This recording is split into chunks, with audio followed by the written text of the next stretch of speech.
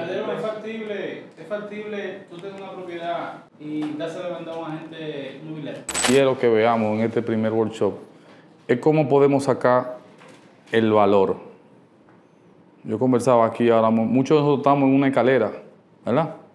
Y vamos subiendo y como que dando pasos. Y llega un punto que es tan alta, ese escalón donde vamos, que tenemos miedo. Nos cuesta decidir, nos cuesta dar un brinco, porque si nos caemos allá arriba, no sabemos cómo nos vamos a volver a parar. Y ese miedo o esa falta de información o esa incertidumbre me frena el crecimiento, me frena el proceso de lo que yo he querido lograr. Pero cuando le pregunto a un familiar, a un amigo, a un hermano, que me quieren ayudar con todo el amor del mundo, me dan una respuesta desde su punto de vista. Pero no han pasado por ahí. Entonces, ¿qué debo yo de hacer? Preguntar en estos workshops, que quizá hay algunos que están más para arriba, que viendo la experiencia de ellos, cómo ellos pudieron romper el miedo, pues entonces me ayuda a escalar, no solamente lo que dice Calderón. Entonces, ahora sí yo pude absorber el valor. Y ese valor me lleva entonces al siguiente escalón. Calderón, ¿es factible, es factible tú tener una propiedad y a vender a un agente inmobiliario? No. ¿Cómo yo la fuera a vender? Esa es la pregunta. Ahí es que voy. Es una buena pregunta. Yo tengo una propiedad, pero yo quiero es no venderla. Yo quiero soltar el problema a otro, que es otra cosa. Entonces, el otro, que supuestamente es el que me va a ayudar a resolver el problema, no tiene como que la herramienta para vender eso. Una botella de agua, ¿cuánto cuesta? ¿Quién me- 15, ¿verdad? De 15 en adelante, cuidado ¿Verdad? con ese 10. 15 pesos en un colmado. ¿Cuánto cuesta esa misma botellita en un restaurante? 50, 100 hasta 120. ¿Verdad? 100. ¿Cuánto cuesta esa misma botellita en un hotel de lujo, Dubai? ¿Cuánto cuesta? 500. Ajá.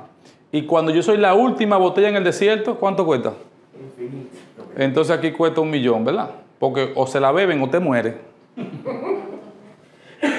Entonces, ¿cuál es la diferencia de la de 15 y la de Nada. No hay una diferencia. Es igual, claro, no, no hay ninguna diferencia, pero hay, si son iguales, hay una diferencia. ¿Qué- ¿Qué fue lo que pasó que esta se vendió más caro? ¿A quién se la estoy vendiendo?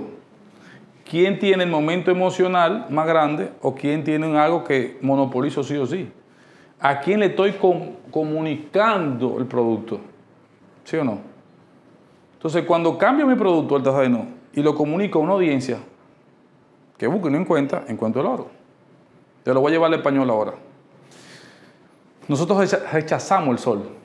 Estamos como cansados del sol. Y yo no entiendo cómo estos rusos vienen para acá y están así, en el malecón, abierto. Lo que para mí no es valioso, lo que para mí yo lo veo como monte y culebra, otro tiene oro. Entonces, si voy a colocar un vendedor a que me ayude a vender esto, es un vendedor que tiene que tener mucha influencia en el mercado que está lejos de aquí, no en lo, nosotros dominicanos. Nosotros no nos valoramos nosotros mismos. Entonces, si un vendedor, pero que venda fuera, que, el- que la razón de ser sea la diáspora, porque aquí lo va a vender más, más caro. O sea, viene un alemán a Sosúa a comprar el mismo terreno que yo tenía sembrando plátano, entonces lo compra por Pukiti. No me está comprando el terreno, me está comprando el ambiente Sosúa. No me está comprando el terreno, me está comprando la playa, la cercanía de las cosas. El terreno es un instrumento para poder tener acceso a eso, a las mujeres, a la bebida, ta, ta, ta, ta, ta, ta. Entonces, que yo no estoy en eso, pero él sí. Entonces, el vendedor debería de apuntar mucho al mercado Estados Unidos, Alemania, Francia, Canadá, donde mi terreno es escaso. Porque el que está en Francia, cuando va a buscar un terreno, ¿cuánto cuesta en Francia un terreno de mil metros? ¿Cuánto cuesta una casa Fuente Mal en Miami? 5, 6, 7 milloncitos, ¿verdad? La barata. Y aquí. Entonces, pero cuando le doy la exclusiva de venta a uno como yo en español, ¿qué puedo esperar? Va a remar muchísimo y no lo van a encontrar. Entonces, fuera. Cambiar la audiencia del mercado. Lo mismo es lo que digo de los conciertos. Cuando viene para acá eh, un artista, Mar Anthony, Juan Luis Guerra, quien sea, ahí están los fans que compran la VIP, que le caiga el sudor, hay mil dólares por dentro de la playa y otros que ni empujaban. Son chinos. Entonces tienen que remar mucho los vendedores cuando están hablando del cliente equivocado. Y ahí perdemos tiempo. Ahí yo decido, Yo del que vamos a bajar el precio, Alan, porque no se está vendiendo. Vamos a ponerlo más bajito el precio y ahí comienzo a pelear yo y no yo bajarlo, a de subirlo, pero hablarle a esto. El tema de nosotros, y qué bueno que lo mencionas, el tema del miedo. Sí. El miedo de nosotros es, es prácticamente la tasa hipotecaria en estos momentos. O sea, la tasa hipotecaria yo me la encuentro bastante alta con respecto a hace 18 o 20 meses. Sí, sí. Y coño, o sea, yo o sea, uno tiene un capital, pero no lo quiere decapitalizar, totalmente para invertir, ya sea para vivienda o, o, o negociar. Sí. Tiene raíces. O sea, sea cual sea la razón por la que uno quiere invertir un dinero, uno quiere decapitalizarse y, y, una tasa, una tasa a un 13.75, un 14.50 de, qué sé yo, de 8 millones, son 100 mil pesos al mes. Entonces, ¿qué? Sí. Es fuerte. Entonces, yo le voy a dar dos sugerencias. Dale. A veces yo digo, no es, no es que la tasa es muy alta, es que el negocio que tengo no es lo suficientemente bueno para que me pague la tasa y me sobre. Cuando sé que no puedo vencer la tasa, porque no la impongo yo, la impone el Estado, me obligan, el mundo conspira contra mí, o sea, no puedo, entonces lo comienzo a ver del otro lado de la tasa. Del otro lado, ¿qué negocio hago que sea lo suficiente que venza la tasa y lo logre? Esa es una forma. ¿Ok? Porque al final lo que estoy buscando es rentabilidad. Quiero meter mi dinero para sacar. Otra cosa es tratar de sacar al banco del juego, que es lo que yo propongo. Por ejemplo, vamos a verlo así. El objetivo que yo estoy buscando aquí es la rentabilidad. ¿De qué manera lo invierto para sacar? El camino para lograr la rentabilidad es ganarle al banco. ¿Qué es eso, Calderón? Bueno, que el banco me dice, mira Calderón, estos 10 millones que tú tienes, no lo inviertas, tráemelo a mí y yo aquí, a través de un certificado financiero, te voy a dar un 3%. ¿Verdad que sí? Muy ching. O sea que por cada millón, el banco me va a dar más o menos 2.400 pesos. Más o menos. Promedio, muy poquito. Yo estoy obligado a dárselo al banco porque no tengo la idea.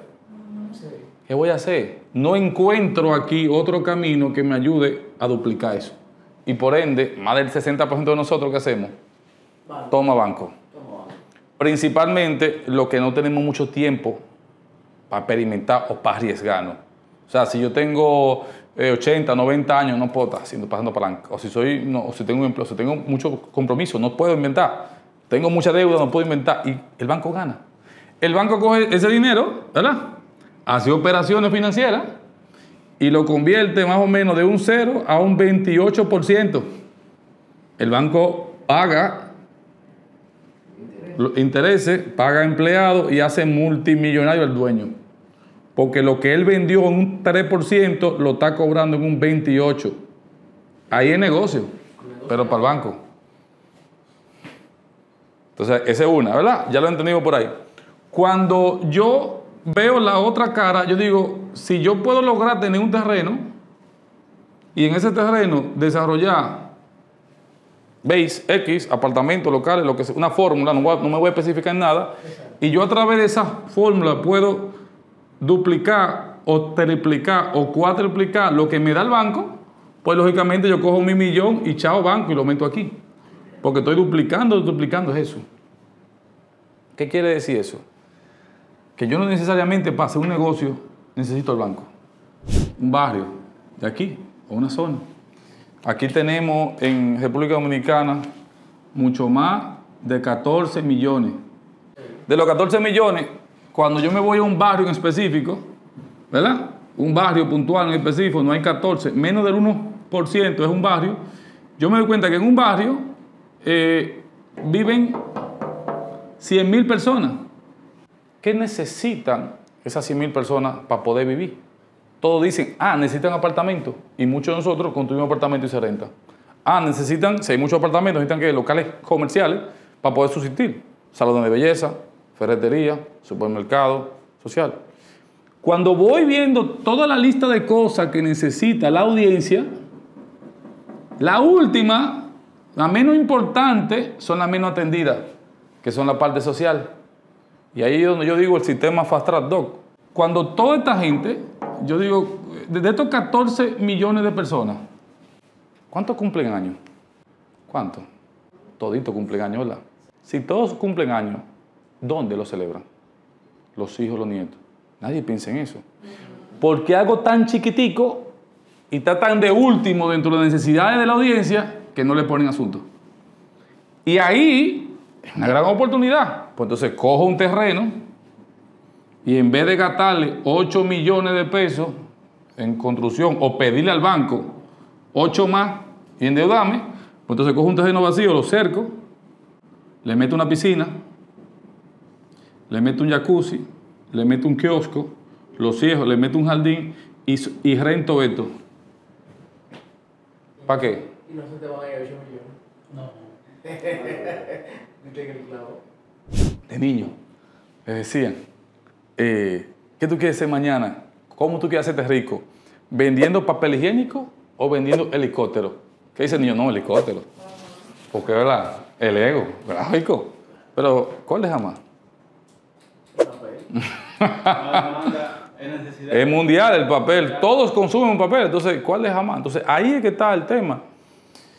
Cuando yo logré separar el cableado de mi gusto y acercarme mucho a los datos del mercado, poquitito. Nosotros tenemos la sangre de emprendedores, es el odio miedo que bloquea a uno.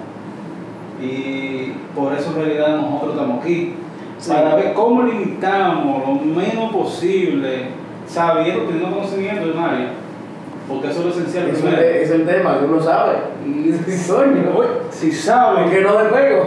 Exactamente. ¿Qué negocio tienen que han pensado cómo quieren lograr la rentabilidad? ¿Dónde están fallando para poder ir al, al punto específico de ustedes? Alan, cuéntenme un poquito, díganme.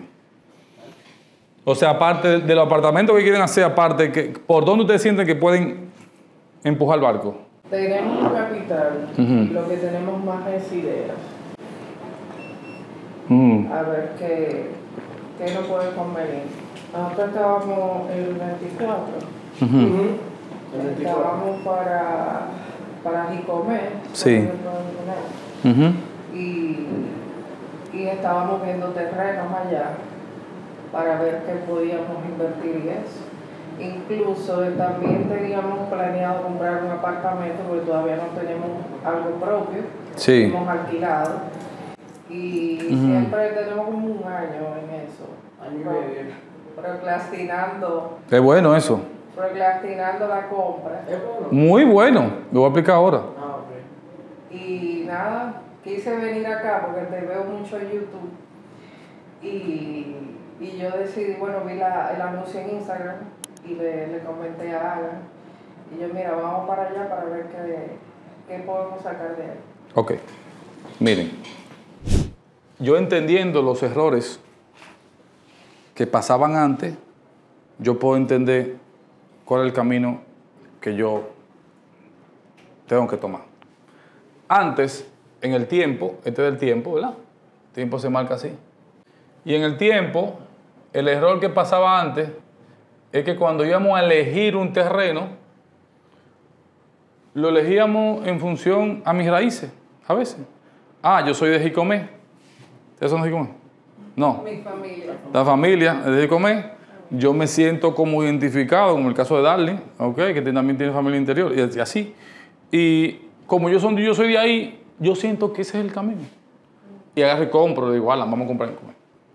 Lo que me está impulsando no es un monopolio de un negocio, sino una relación social. El amor a mis raíces, a donde yo vengo, a eso. Y ahí fallamos. ¿Ok? Fallamos. A todos nos pasa. A mí me pasó, o sea, eso no es una cosa normal. Otra cosa que después que lo compro, lo compré, yo decía, yo lo que creo yo, que eso lo voy a acordar en el proyecto de él, es que aquí lo que se debe hacer es esto. Apartamento de tres, de dos, de una y hacía un apartamento en función a mi gusto, no lo gusto del mercado. Y cuando pasaba eso, también fallaba. Porque entonces yo veía que todos en Jicomé tenían apartamentos de tres habitaciones. Ah, yo tengo que hacer lo mismo. Porque aquí lo que parece que funciona son apartamentos de tres. Y no es así. Entonces hacía el apartamento de tres en una ubicación equivocada y entraba en una guerra de precios. porque entonces el de al lado se alquila más barato y yo tengo que bajar el precio para que el mío se alquile y perdía. Y lo último que pasaba después de eso era que no me daba cuenta que el edificio o los apartamentos, lo que hice aquí, ese costo que yo gasté ahí, ese mismo costo, si yo lo hubiera puesto en el edificio en otro sitio, el edificio me hubiera costado lo mismo, pero aquí yo lo hubiera sacado cuatro veces más. Porque los blogs son blogs en todos lados.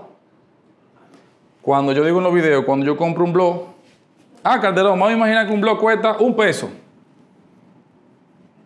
Y compramos el blog. Un peso. Si pongo el blog en New York, frente a Central Park, el precio del blog, yo lo digo mucho, va para arriba. Si lo pongo en Haití, no puedo echar de Haití, pero en Haití, como está la situación ahora, ¿qué va a pasar? Va para abajo. ¿Quién fue que me agrandó el negocio? ¿El lugar o el blog? Entonces, el yo tomar la decisión de comprar un terreno en un lugar por algo bonito que son mis sentimientos, me hunde. Calderón, ¿cómo usted me va a decir eso? No, ya a mí me pasó.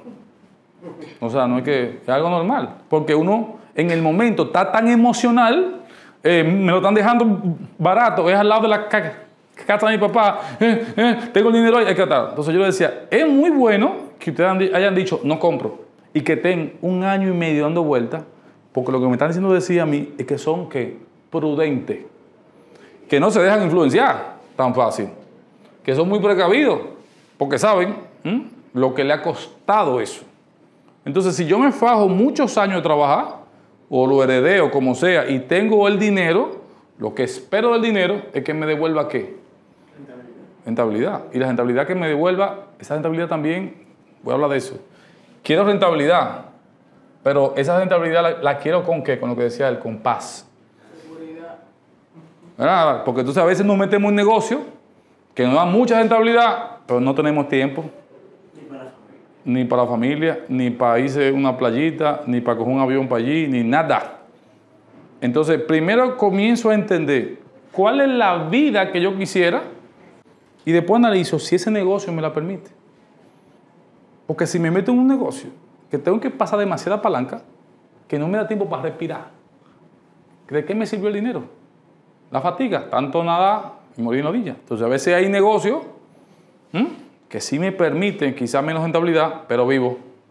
Cuando tengo poquito, tengo que buscar la propiedad más chiquita, el terreno más chiquito en la mejor zona que mi bolsillo pueda comprar. Voy a repetir. Tengo que dedicar mucho de mi tiempo de ustedes de salir a buscar la propiedad más chiquitica, el terrenito más chiquito en la zona más cara, quizás de comer o de Santiago, o de San Francisco, o de aquí. Aquí es muy difícil. No voy a hablar de Santo Domingo porque eso da odio. Entonces, dentro de mi presupuesto, ah, Calderón, pero que yo nada más tengo 4 millones. Nada más tengo 5, o nada más tengo 8, o lo que tenga. Con ese número, ¿dónde es que puedo pisar? Ahora, nunca, aquí pongan mucha atención, nunca le voy a, comprar a terrenos que estén publicados en las redes. ¿Y cómo Calderón lo encuentro? ¿Quién me dice? Hiciste la pregunta mágica. ¿Cómo lo encuentro? Vamos a pensar todos juntos aquí, venga. Ahora no vamos a fundir el cerebro ahora. Porque ¿qué pasa cuando yo le compro al terreno a Darling?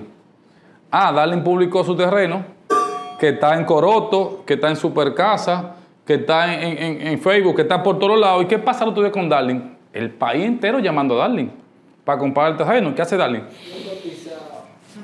Yo aquí no, no, eso yo no voy a rebajar porque, claro, y él está así, porque descubrió que él lo llama mucha gente, ¿verdad? ¿Qué pasaba en el colegio cuando estábamos chiquiticos?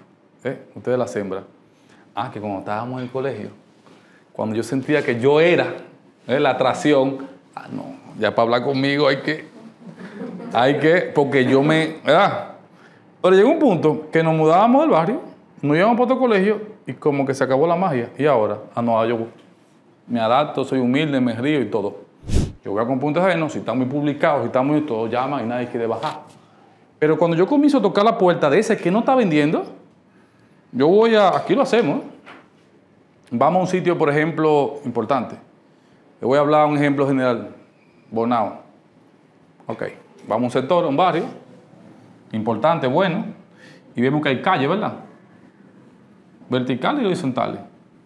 Ninguna tiene letrero, ninguna está publicada, o sea que ninguna está ofreciendo dinero.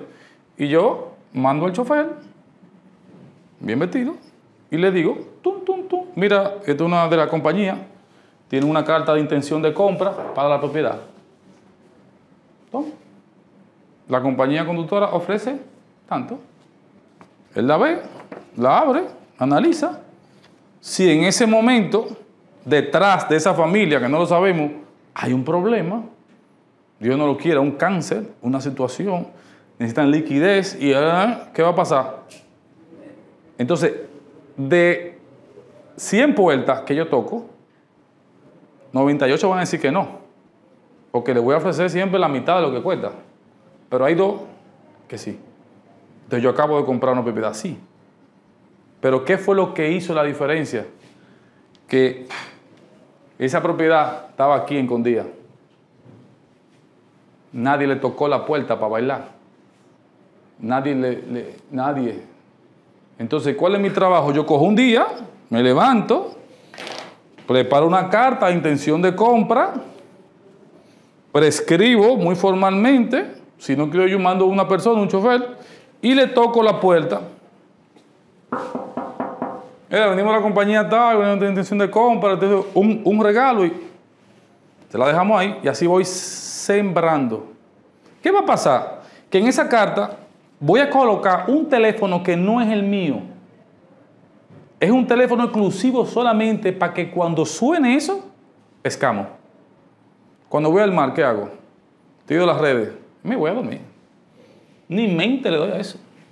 Cuando eso suena, es que hay alguien que dijo sí a la mitad del precio. Pero no hacemos la tarea. El plan inicial que yo, tenía era levantar una pequeña plaza comercial. Y bueno, yo creo que yo estoy listo para yo empezar a hacer una plaza y, y viendo los frutos porque quiero hacer mi compañía.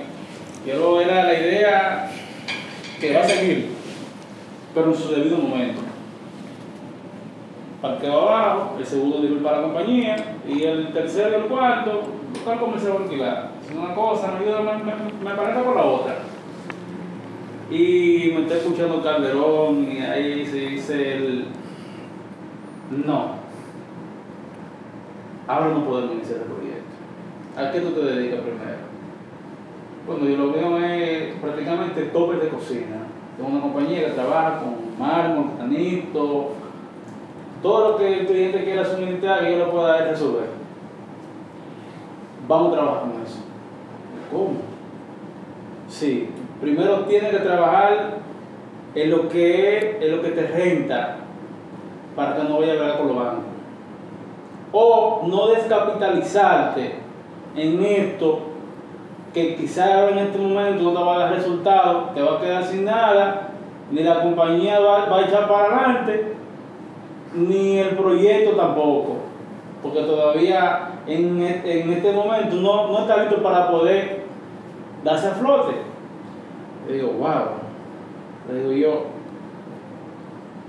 me están dando la respuesta que yo en realidad no buscando. Y ella que este hombre no me quiere dar los cuartos. Si otro viene. Tuviera la plaza de Yaicha. Y después se queda con un pasivo. Era lo que yo estaba buscando porque hay muchos ingenieros, muchos arquitectos, hay mucho de todo. Yo lo que estaba buscando era la conciencia de que por los videos, que segunda vez que comparto con él, y tengo como dos meses viendo la, la página en, Instagram. Y dije, bueno, yo le voy a dar para allá. Y lo que yo estoy buscando no es que me digan a mí que cómo se me va a distribuir esto, que me digan lo que yo, lo que en el momento yo tengo que hacer, tanto con mi proyecto eh, de ingeniería como en mi negocio. Y yo lo asimilé porque es, yo sentí que me dio la respuesta que yo andaba buscando. Y que yo, y lo que me hace falta para la compañía, yo poder evolucionar más rápido, porque yo tengo el potencial. Pero la educación que uno tiene es muy básica. A nosotros nos enseñaron a negociar y hablar con gente. Y ese es el error más grande que tenemos nosotros. No, no, no nos enseñaron a hablar con gente. Uno quiere hacerlo todo uno, uno, uno, uno, uno. Y es que te fracaso más grande. Para uno salir adelante, tiene que buscar alternativas de información. E ir viendo videos y videos. Y a veces uno ve tantas cosas que uno dice, ¿y será verdad? Y es, y es así, uno puede ver los frutos. Y dice, es que yo no veo, es que yo veo esto que tienen, pero tú lo ves, ellos tienen, pero no tienen tiempo. Están desbaratados. Emocionalmente, físicamente, pero tienen una fortuna en un banco. Y yo siempre, el, el, el, problema mío es, la disputa es entre el dinero y el tiempo. Yo no voy a tener dinero para reclutar, entonces nada más voy a conseguir por los medicamentos. Yo tengo que buscar alternativas, tengo que buscar gente que me ayude me resuelva. Yo tengo el potencial, tengo que fajarme, tengo que buscar la vuelta. Yo no salí de la mano de una pulidora, porque eso fue lo que yo vi. El jefe mío era pulidor, pulidor, pulidor y tenía esos recursos. Porque esto no es vida. Y ahí batallando, batallando conmigo mismo, batallando. y a veces el problema es que uno quiere sentir de que nada más uno solo que lo puede hacer bien. Y uno solo, y uno solo, y uno solo. Y no, no, es que tengo que buscar gente. Yo tengo, yo tengo que buscar gente, yo no puedo. Yo no le dedico tiempo a mi familia.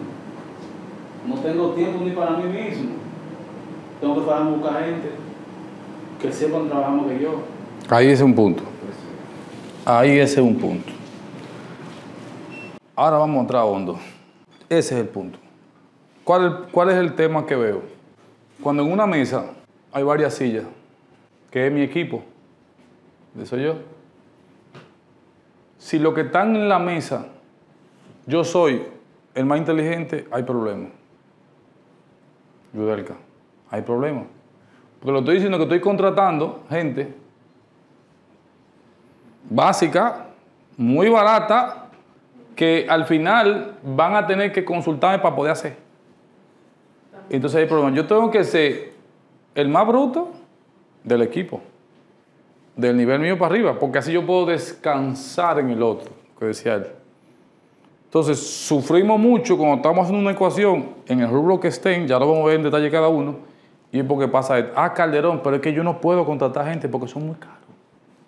Entonces, es mejor uno caro que me dé 5X más para atrás a uno barato que yo tenga que estar remando cuatro veces. Porque a largo plazo no va, a subir. Entonces, lo primero que tengo que hacer también, hay otro caso, caso que, que se da que nuestro equipo tenemos el clásico osito cariñosito. Yo no la puedo despedir porque ella es muy buena y entonces ella, mira que tiene tantos años, yo le doy una oportunidad. Y ahí, y él es muy amigo mío, como veíamos uno de los agentes que siempre anda con un muchacho, bueno. y le vamos dando larga. Y mezclamos los afectos con el negocio. Y eso es agua y aceite.